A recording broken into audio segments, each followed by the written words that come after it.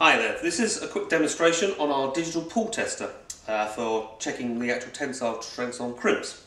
The unit's very simple and straightforward to use. We have a, a digital load cell on the end and the actual crimping device or the actual holder for the crimping device is here.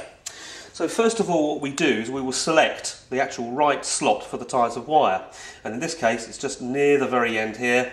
So the idea being the actual crimp will pull on the sides on the actual device rather than the wire. So the amount of force we pull on here will pull the crimp straight off. So if we pop it into the machine and select that one, this is the crimp holder we're going to use.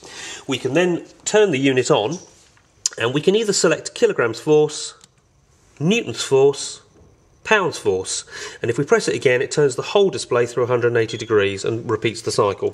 So let's go through back to kilograms force.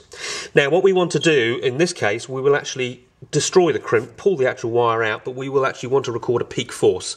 So if we press the peak button, peak will actually come up on the screen.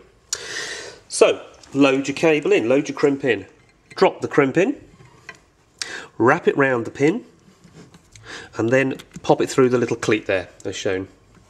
Then all you need to do is just, at this stage I'm holding the actual device, it ideally needs to be bolted to a bench. Pull the handle until the crimp breaks. And at that point, if we then look at the display, it will actually show the resulting reading, which was 28.9 kilograms force desired to pull the crimp off.